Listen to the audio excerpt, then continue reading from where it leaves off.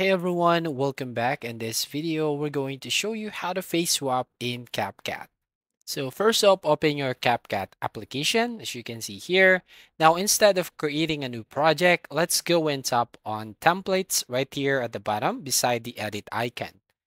So here you will find the bunch of templates that you can basically use. So in order to use a face swap, so go to the search bar right there at the top and type in face swap and then tap on the search button.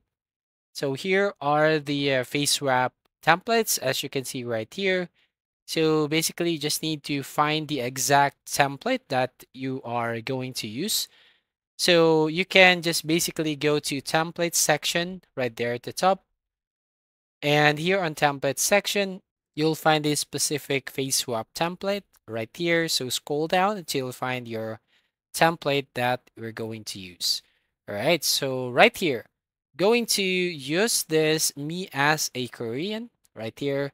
So if I'm going to tap on this template, basically you'll find a sample. So uh, your face will be like a Korean, just like this. And this image and also the last image. So we're going to use that template.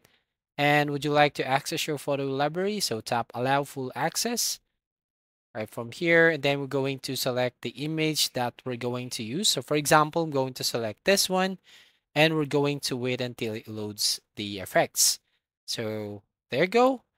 So as you can see the face is swapped into a korean model.